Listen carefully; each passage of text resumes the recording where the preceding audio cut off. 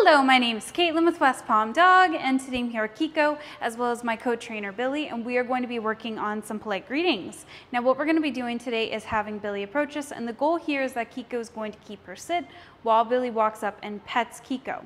So I'm going to go ahead, get her set up. Come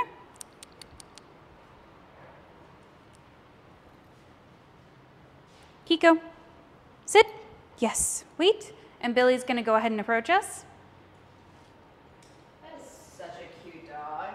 Can I pet her? Yes. Oh my goodness. Look at this cute face. Yes, and you see Kiko did a really nice job holding her position. Now I'm gonna reset her real quick. Let's go. I'm gonna be resetting Kiko multiple times just because I wanna make sure that she is as successful as possible. Kiko, sit. Yes. Wait. Uh-uh-uh.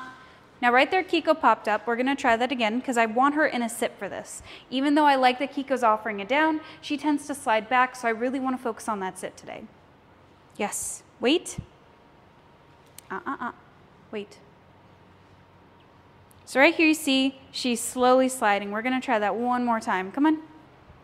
But this is what you would do if you were handling Kiko and she tends to slide. We're just going to reset her and make sure she understands she's not going to be rewarded if she goes down. Wait.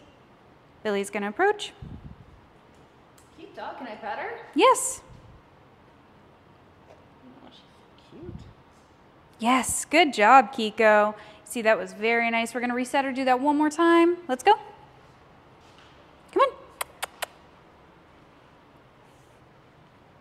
Kiko. Sit. Yes. Wait. Oh, she's got a little bit unsecure footing.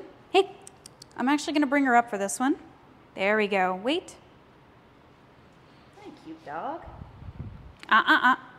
Now, as you can see, the second her butt popped off, popped up, Billy actually backed away. Hey, put her back in position. Try that again. Wait.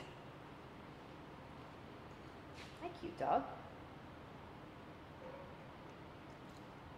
Very nice. And that was a very nice job from Kiko. As you can see, when she was offering that down, I was really clear to her in wanting that sit, so I just went ahead reset her. I want to make sure that Kiko's able to hold that sit just because she tends to slide during that down.